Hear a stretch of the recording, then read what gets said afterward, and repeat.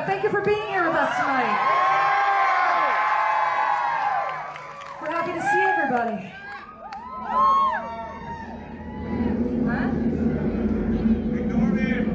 We could never ignore you, Rainbow. the song is called Destroyer.